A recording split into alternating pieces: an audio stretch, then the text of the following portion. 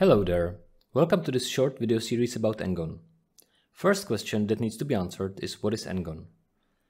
engon is an open source Blender add-on developed by polygoniq that comes with many useful features, such as converting the assets to editable or linked to save memory, transform randomization, snap objects to ground, and even scatter assets.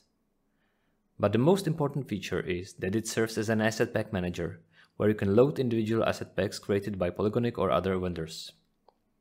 It comes with its own browser that you can use to spawn assets, materials or worlds and other data blocks to your scene. It also allows for some advanced filtering of the assets that is not possible with the native asset browser, such as limiting the triangle count, size of the asset or even the color. If you prefer Blender native asset browser, you can use it as well, engon will add all packs into the asset libraries.